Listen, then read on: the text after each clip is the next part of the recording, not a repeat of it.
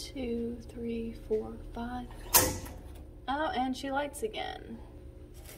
One, two, three, four, five, seven, eight, nine, ten, um, 14, 15, light the center, and turn on the pilot. Flame is in the middle, or the pilot, I guess, is in the middle.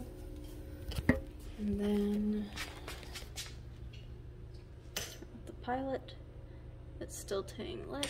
And then turn on the main pilot flame. And then she comes on.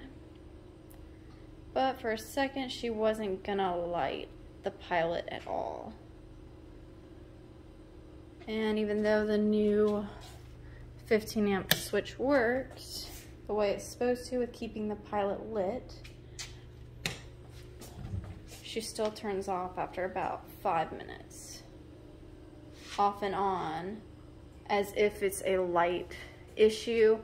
It's only grounded with a red wire and a white wire.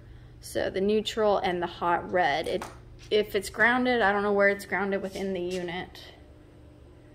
That's my thought is it's not grounded, but uh, could also at this point be the pilot itself. I don't think it's a thermopile. I don't know if that gap is supposed to be a thing.